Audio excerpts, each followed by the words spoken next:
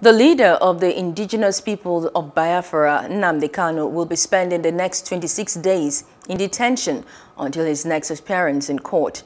The self-styled liberator will have to answer to charges of treason and inciting violence. But as Plus TV Africa Ngozika HSC reports, Kanu has a history of slipping away from Nigerian authorities.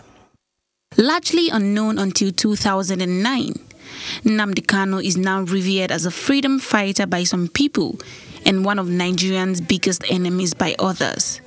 Such an enemy that has a 100 million naira bounty on him. It was in 2009 he started his Radio Biafra, which broadcast messages of secession from Nigeria. This isn't the first time Kanu would be arrested. He was first taken on October the 14th, 2015 at a hotel in Lagos. This led to protests in the southeastern states of Anambra and Enugu and the south-south states of Delta and Rivers. He was detained by the Department of State Service for more than a year and arraigned on an 11 count charge bordering on terrorism, treasonable felony, and managing an unlawful society. He jumped bail in April 2017 and sneaked out of Nigeria, flouting his bail conditions in the process. In September of the same year, the Nigerian army once again arrested Kanu in Abia State and placed him under house arrest. Kanu and his family weren't seen in public for weeks, leading to speculations that the IPOB leader may have been killed. When it was time for him to reappear in court, he was nowhere to be found.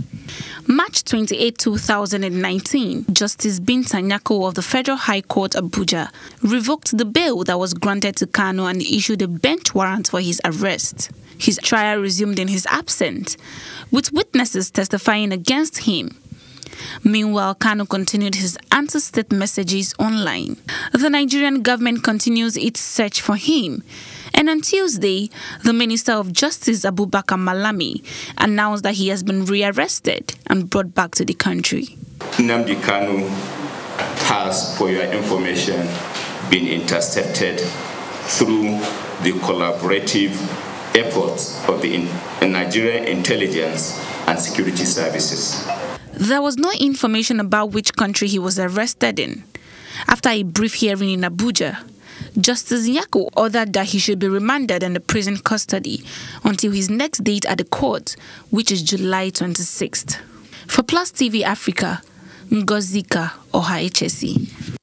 Hello. Hope you enjoyed the news. Please do subscribe to our YouTube channel and don't forget to hit the notification button so you get notified about fresh news updates.